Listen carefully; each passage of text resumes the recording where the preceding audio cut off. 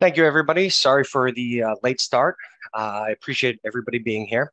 Um, Ian Ramsdell. I am the founder and CEO of Kupros, and I'm excited for our webinar this week because uh, we uh, have gone through the necessary steps to uh, uh, make sure that um, we could get the inventor of our technology, Harrison Holmes, here on the webinar with us. So thank you, Harrison, for joining us today.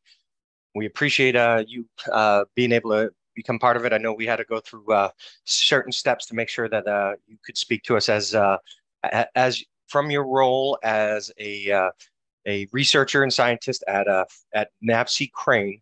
And so, uh, please, Harrison, can you tell us a little bit about yourself, where you grew up, what schools you went to, and let us know a little bit about yourself. All righty, can you hear me? Yep, now we have you on. Thank you, Harrison. Okay. Uh, hi, I'm Harrison Holmes. I'm here representing NSWC Crane.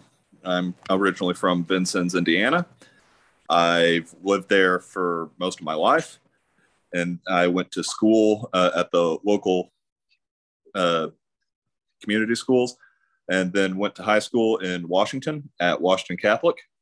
And then my parents were professors at Vincennes University, so I went two years there and then did three years up at IUPUI for biomedical engineering.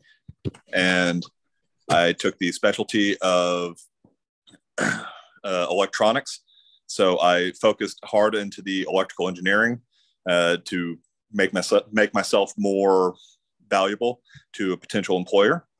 Uh, right out of uh, college, I got hired on at NSWC Crane uh, as part of their uh, technology protection and I've worked as a additive manufacturing subject matter expert, as well as a reverse engineer for obsolescence.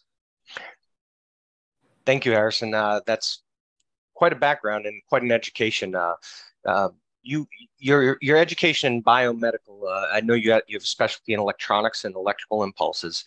How did NAVSEA Crane put this to good use?